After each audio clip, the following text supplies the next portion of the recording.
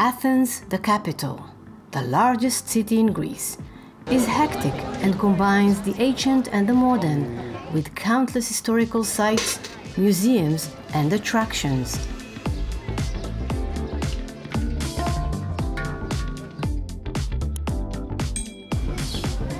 Athens is the anchor of the yacht charter companies, based in five main marinas.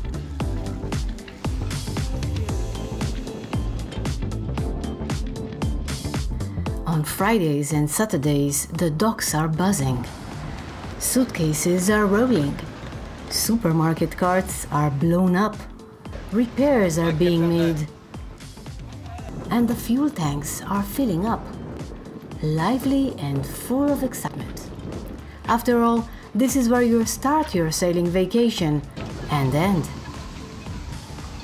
Hello, sailors.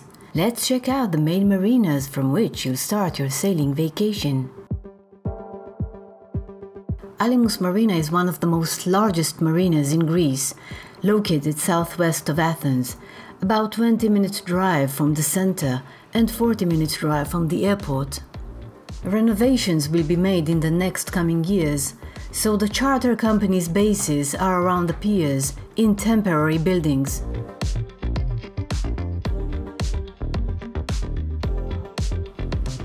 Zea Mega Yacht Marina is crowded, located in Piraeus on the east coast.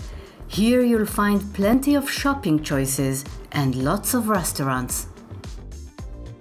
Southeast of Athens, 30 minutes drive from the airport, lies the town of Lavrion. Here there are two marinas, Port Lavrion and Olympic Marina.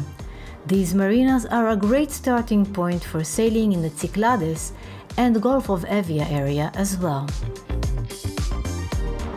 On SeaTV website you can find visual pilot videos of Athens marinas, sailing routes around the Saronic or the Cyclades islands, wherever you wish to sail in the description below. Thank you for watching SeaTV.